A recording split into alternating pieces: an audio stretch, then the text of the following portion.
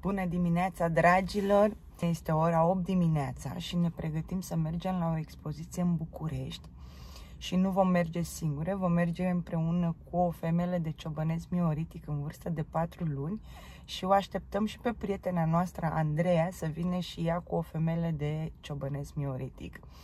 Mai exact o să mergem la o expoziție de la UCHR care ne-au invitat și pe noi, pentru că ei vor să promoveze rasele uh, românești, cum ar fi ciobănesc de Bucovina, corb, mioritic și așa mai departe. Nu este o expoziție propriu zisă în care îți vor da calificative și așa mai departe, este doar strict pentru a promova rasele românești. Așa că stați aproape, nu uitați să activați clopoțelul, dați un share, un like acestui videoclip și vă ținem la curent cu tot ce facem noi.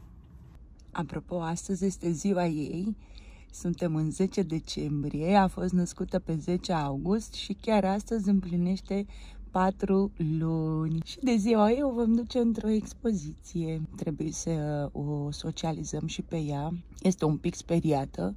Sper să nu mă facă de rușine. Asta e micuță și o înțelegem. Tocmai a sosit Andreea cu Boni. Uitați-vă la Boni. Ce față are Boni? Boni! Neața, Andreea! Neața! Ce face Boni acolo? Poate mușcă fetița. Nu, mușcă. Hai să mergem. Am ajuns și noi. A luat-o domnul ca să poată să parcheze Andreea mașina.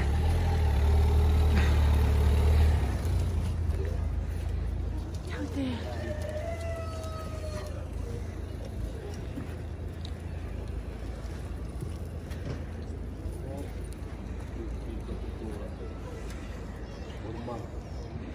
Zi, mămică, ți acolo?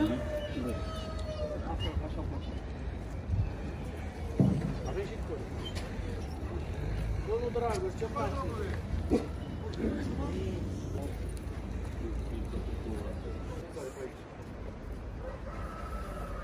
Da, eu după albă de prafă. Bunii, Camionet, așa. bunii, ține bunii frumoasă, bunii.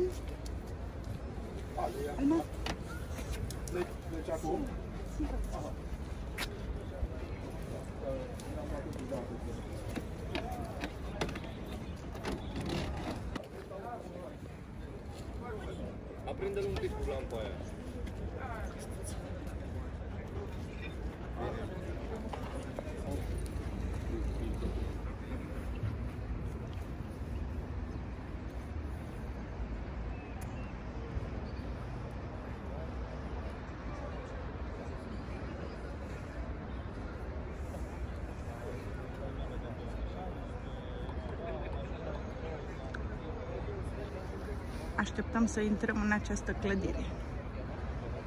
Alma!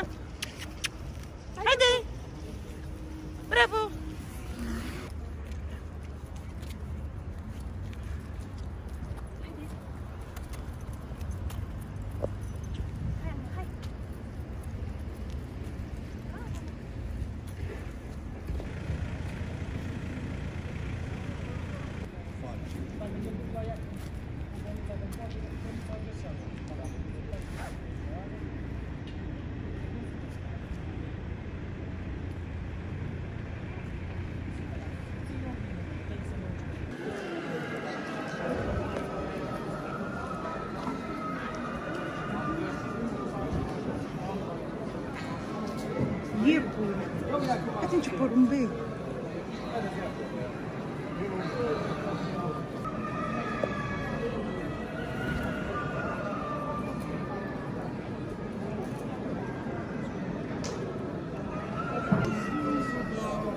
Toate poate la licitație în sus, în euro.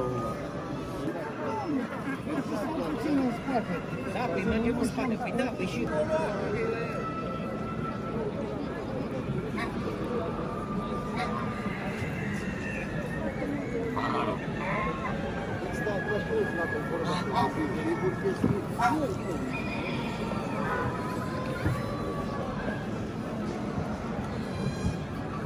mergem în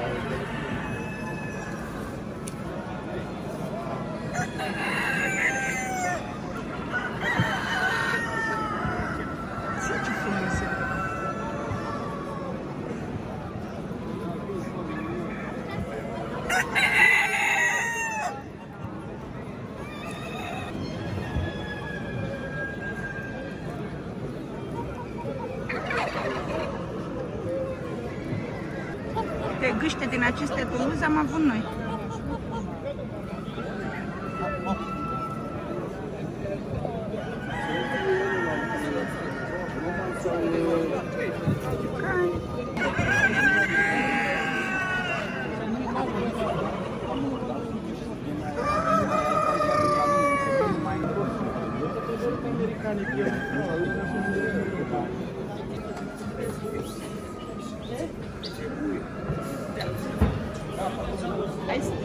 Să...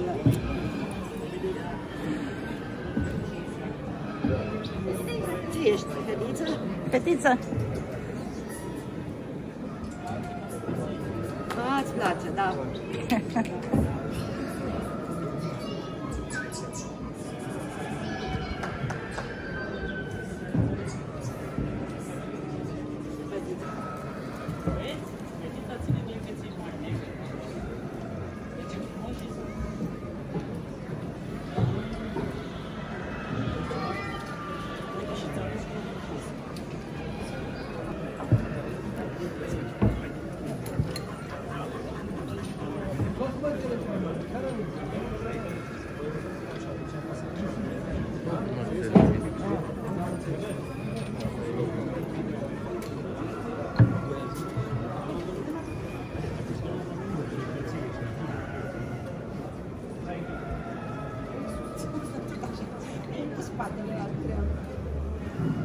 Bună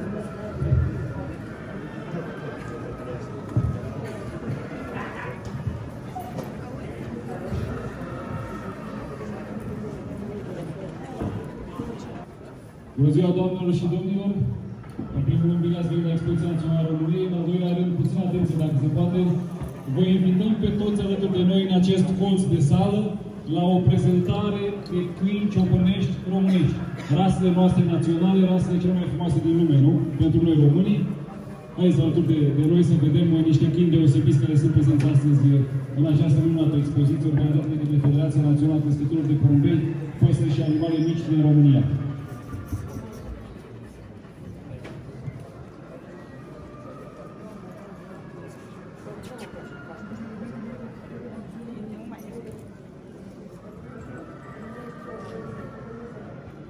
bonita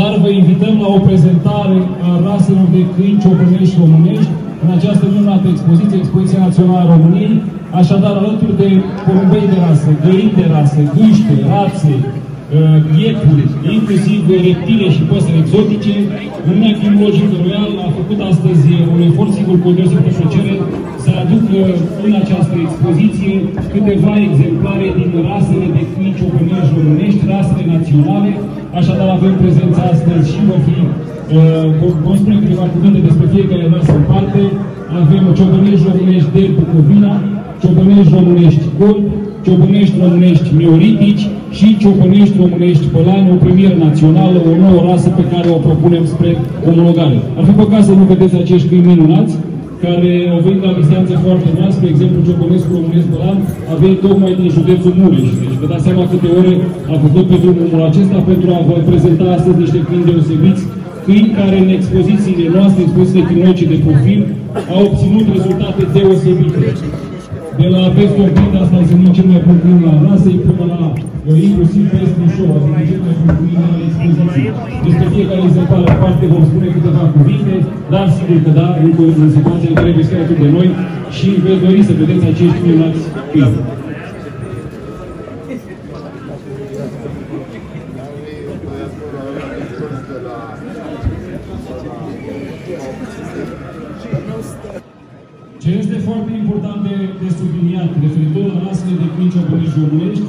Este că, la fel ca și la celelalte rase de animale, este foarte important ca noi românii să le creștem și să le promovăm, pentru că dacă nu o facem noi, sigur că nu o va face nimeni altcineva.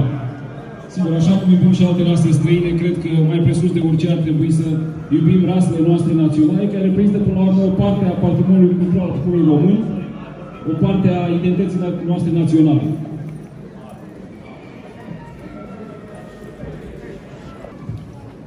Bună ziua și eu vă mulțumesc pentru prezență. Ne bucurăm că am reușit să atragem și uh, reprezentanții Uniunii Kinologice Royal în expoziția noastră. Vă felicit pentru calitatea exemplarilor și, în primul rând, vă felicit pentru faptul că dumneavoastră promovați aceste rase românești de câini și promovați în, uh, în Europa și în afara continentului european valoarea exemplarelor aparținând raselor de câini uh, omologate rase de câini din, uh, din România. Felicitări și vă doresc să aveți succes, să obțineți rezultate deosebite și la competițiile internaționale cu câinii dumneavoastră. Mulțumesc și felicitări! Mulțumim foarte mult pentru aceste cuvinte frumoase, inclusiv pentru oportunitatea de a ne afla astăzi alături de dumneavoastră. Așadar, uh, vom prezenta, începând uh, de la stânga la dreapta, câinii care sunt prezenți astăzi alături de noi, câini care aparțin raselor de ciocănești românești. Avem uh, în stânga una dintre cele mai cunoscute rase de câini ciobănești, respectiv ciobănescu românesc mioritic. O prezentare de câini ciobănești românești rasele noastre naționale. Foarte pe scurt, cei care au fost prezenți i-ați văzut deja aici. Îi veți vedea și pe Facebook, de diverse conturi. Familia Ionescu a fost prezentă cu două exemplare de ciobănesc mioritic provenind din Canisa Dânșilor, o femelă junioară și un pui, deci două femeluțe, foarte tipice, foarte frumoase. Le mulțumim încă o dată pentru prezență alături de noi. Familia Cristinoiu, cu două generații, tată și fică, prezenți cu o pereche superbă de ciobănești românești cor mascul. Ați văzut la Bran în expoziție excelent unul mascul casă deschisă, locul 2 BOB, uh, adică cel mai bun câine al rasei, un câine deosebit. Nu vă ascund că voi face și o montă cu acest câine, atât de mult îmi place. Lângă el o femelă junioară, de asemenea un exemplar deosebit. Lângă familia Fâțu, cu doi ciobănești de Bucovina, mascul și femelă, mascul de asemenea excelent unul la Bran, femela și ea, femelă cu drept de montă. Familia Câțu și-a făcut și, uh, Fâțu și-a uh, făcut și canis între timp le urem mult succes în continuare în creșterea selecției raselor de ciobănești românești. La final, familia Onea din Seleuș, care au răspuns invitației noastre și au venit la mare, mare distanță, știu ce înseamnă să depune efortul ăsta, domnul Onea senior, domnul Onea junior, soția și cineva din familie, cu trei exemplare de ciobănesc românesc bălan.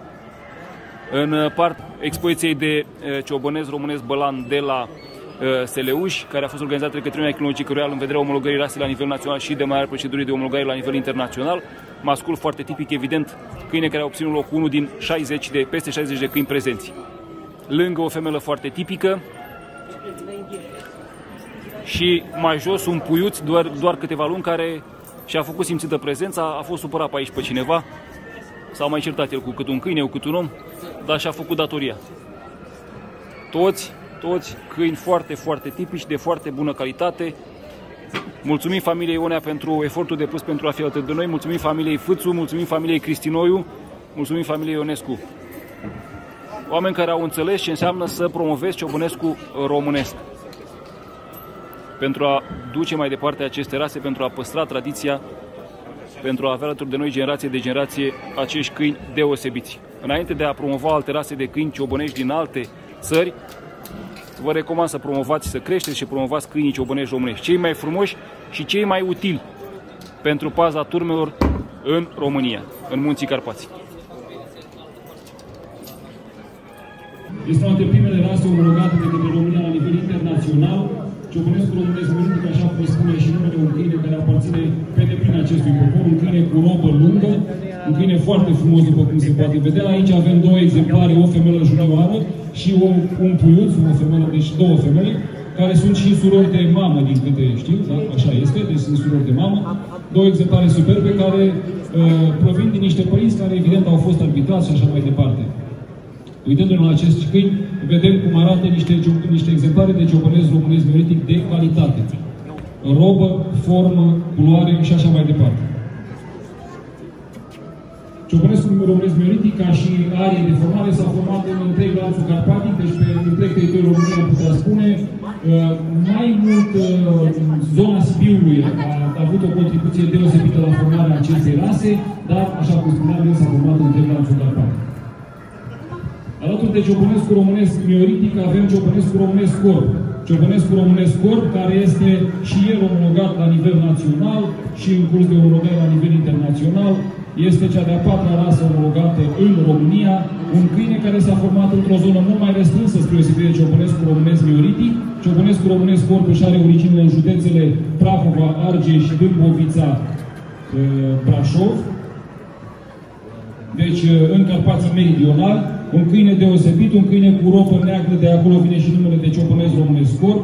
Aici aveți două exemplare deosebite. Masculul uh, este, a participat în expoziția noastră, obținând uh, locul 1 la mascul în expoziție. Deci un câine deosebit, așa arată un câine ciopănesc românesc corp de calitate, sub aspectul formei, robei, capului, ochilor și așa mai departe. Iar lângă el, deci acesta este un mascul adult, iar lângă el se află o femelă junioară, o femelă care încă este în creștere, în dezvoltare, cu siguranță a fost și ea prezentă, a obținut calificative excelente în expresiile noastre și cu siguranță va mai fi prezentă și în continuare. Ceea ce vreau să spun înainte de a trece la ceilalți câini din celelalte rase, este că, exceptând mioriticul, toți ceilalți pe care vedeți aici, exceptând mioriticul, exemplarele care sunt prezente, nu în general, toți ceilalți pe care vedeți aici sunt câini care fac serviciu la stână, ei au venit efectiv de la stână. Deci azi noapte câinii ăștia au fost în câmpul muncii, au păzit turmele de oi, cirezile de vaci și, dacă a fost cazul, s-au confruntat cu ursul și cu lupul mari prădători din Carpați, iar astăzi au venit astăzi alături de noastre pentru uh, a vă arăta ce rase minunate avem noi românii și cât de mult ar trebui să le prețuim. Și înainte de a ne uita la alte rase străine, care sigur au și de frumusețea lor, ar trebui să ne uităm prima dată la rasele de ciobănești românești, și prima dată ar trebui să uh, prețuim și, de ce nu, să creștem acești câini, pentru că, repet, noi avem datoria de a-i crește și de a-i promova. Lângă ciopănescu românesc corp avem două exemplare, o femelă și un mascul de ciopănesc românesc de Bucovina. Așa cum spune și numele rasa aceasta s-a format în zona Bucovina, însă câini, uh, fond alb, fond alb și uh, pete pălțate de culoare neagră sau brun închis uh, s-au întâlnit evident în întreg lanțul Carpaților. Sunt câini foarte buni, câini de talie destul de mare, după cum se poate vedea, câini care fac un serviciu deosebit. Și aceste exemplare au fost prezente în expoziție. Masculul pe care îl vedeți a câștigat locul 1 masculi în expoziție organizată de către Uniunea Etimologică Royal. Femeia de lângă el, de asemenea, este o femeie arbitrată cu drept de montă, deci două exemplare deosebite. Ultima rasă prezentă astăzi aici este Ciopănescu Românesc Balanș. Aici avem o premieră națională. Oamenii pe care vedeți aici și care, așa cum spuneam, vin cu câinilor din câmpul muncii, s-au deplasat tocmai din județul Mureș. De aceea spuneam că micul efort de a fi prezent astăzi alături de noi uh, este incomparabil cu efortul pe care l-au făcut acești oameni de a venit din județul Mureș până aici pentru a vă arăta cea de-a cincea rasă de câini ciobănești românești, rasă pentru care Uniunea Chinologică Royal, singurul for din această țară, se spate pentru a fi omologată la nivel internațional. Câinii au fost omologați la nivel național și facem demersurile pentru a fi omologați și la nivel internațional. Sunt niște câini foarte rustici, niște câini foarte agili, foarte iuți, câini care s-au format ca și rasă cu precădere în zona Ardeal și Crișana, dar uh, au fost întâlniți și în alte uh, zone din, uh, din România. Așa cum spuneam în general în uh, lanțul Munților Carpați. Numele rasei vine de la culoarea albă a robei, de, de aceea îi spunem ciopănesc românesc Bălan, Bălan fiind un regionalism pentru uh, culoarea albă. Uh, Trebuie să prezentăm uh, în mod evident și uh, crescătorii acestor câini, pentru că ei nu ar fi fost astăzi prezenți aici și nu ar, nu ar fi fost obținute aceste exemplare dacă acești oameni nu ar fi dus o muncă de creștere și selecție zi de zi pentru a perpetua aceste rase și pentru a nu le lăsa să se piardă. Pentru că ciopănescul românesc este un câine care ar trebui să facă parte din patrimoniul național al României și ar trebui să facem tot ce putem pentru a nu se pierde. Și avem alături de noi pe familia Onea, după cum se vede de domnul Onea, veteranul familiei, a venit echipat în mod corespunzător, așa cum îi strade bine unui, unui cioban român, cu cojocul, cu sarica de oaie țurcană. Între noi fie vorba, fac o paranteză, oaia țurcană, cea mai veche rasă de oi din Europa, nu sunt cuvinte mari, pentru cei care mă contrazic, le urez să facă un drum până la Roma, să meargă la columna lui Traian și să vadă că alături de daci și romani, pe columnă sunt reprezentate câteva oi care sunt exact oile pe care le vedeți astăzi crescute de acești oameni. Deci oaia țurcană românească. Și pentru asta trebuie să apreciem în mod deosebit acești oameni, pe lângă faptul că ei cresc acești câini, sigur, câinii sunt crescuți pentru a face serviciu pe care îl fac de milenii, pentru că aceste rase nu sunt obținute ca alte rase de 3, 5, 10, 20, 30 de ani. Aceste rase sunt rase milenare. Le-am moștenit și oamenii ăștia le duc mai departe. Iată, în familia Onea avem două generații.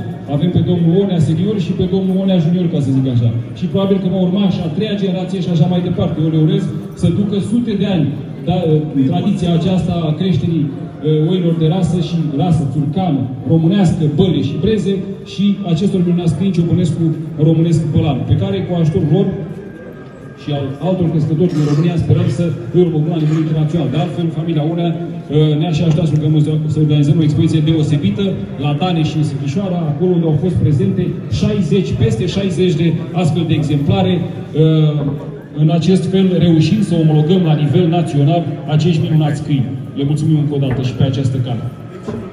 Lângă familia Unea, familia Fuțu din și sunt din Daneș Mureș. Deci pentru cei care doresc un pui de, din Seleuș, scuze, lângă Daneș, deci din Seleuș, îmi cer scuze, din Seleuș, județul Mureș. Pentru cei care doriți un pui de ciopănesc românesc bălan, și asta nu înseamnă, atenție, nu înseamnă comercializare, ca să zic așa, ci înseamnă un ajutor oferit perpetuarea acestor câini din ce în ce mai departe, generație de generație. Lângă familia Unea, familia uh, Fâțu, cu uh, doi și sunt crescători nu doar de ciopănesc românesc de Bucovina, sunt crescători și de ciopănesc românesc minority și de ciopănesc românesc ori de două generații, pentru că este alături de, de fica sa.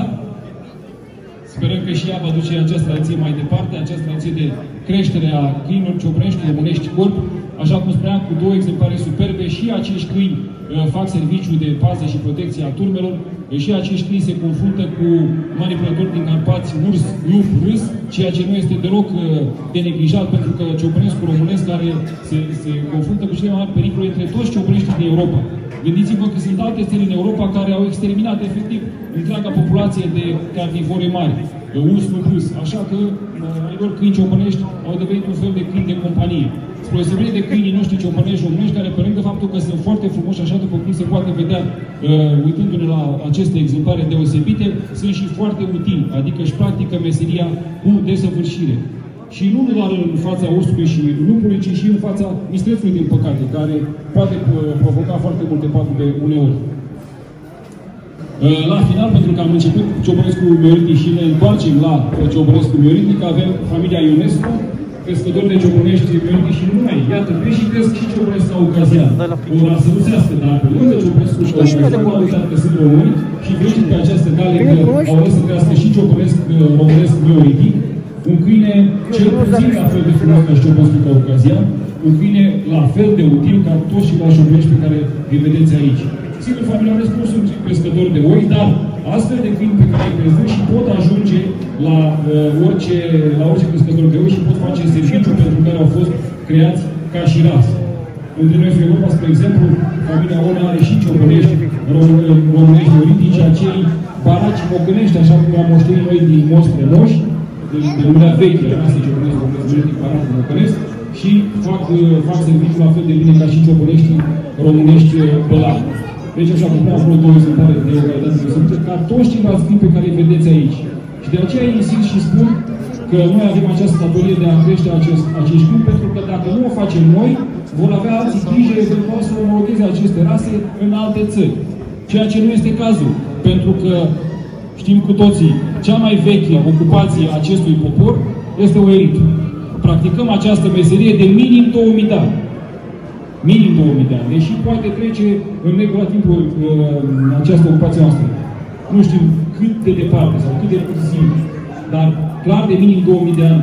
Și nu s-ar fi putut practica această meserie într-o într, țară cu, cu munți uh, atât de, de încărcați de faună, de urs și nu cred că uh, ciobanii români de generații n-ar fi avut alături de ei acești câini deosebiți, acești câini puternici, care fac față cu brio și care, care uh, practică meseria pe care și ei, la rândul lor, au moștenit-o din mostrămăși. Pentru că așa cum uh, copiii moștenesc de la părinți această meserie, și câinii învață de la părinții lor ce au de făcut uh, alături de turnurile de oi, astfel încât ele să fie în siguranță.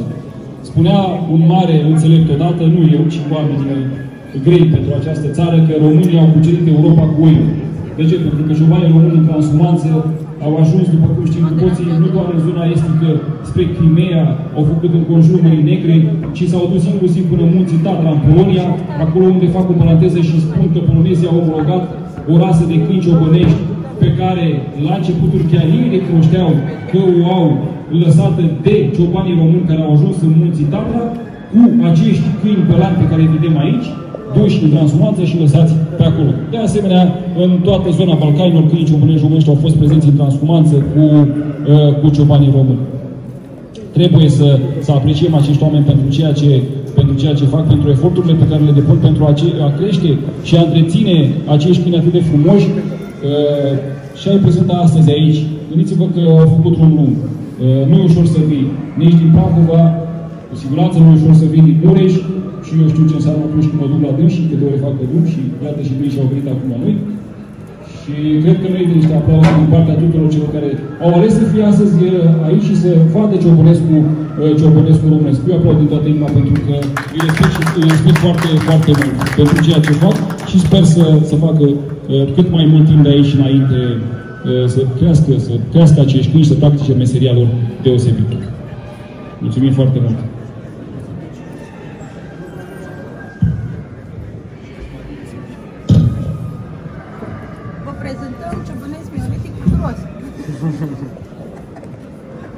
Alma. Sau somnoros, cum vreți să A luat poziția de broscuță.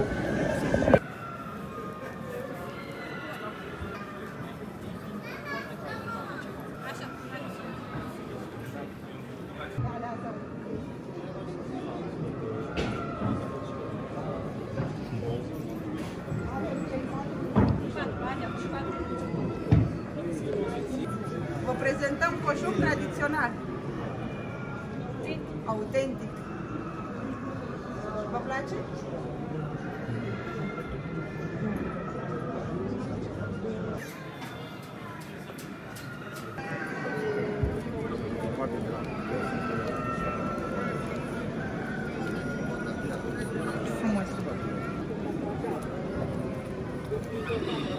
ca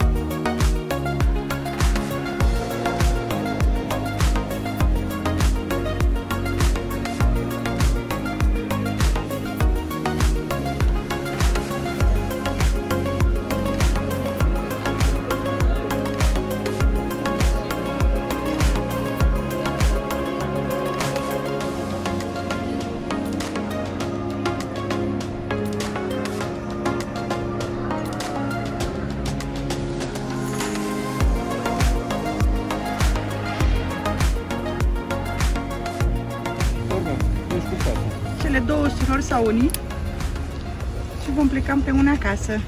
Cu top aici ești? Nu, acolo. Haideți să mergem acasă. Ai cum să mergi? Ești pe acolo? Cu top aici.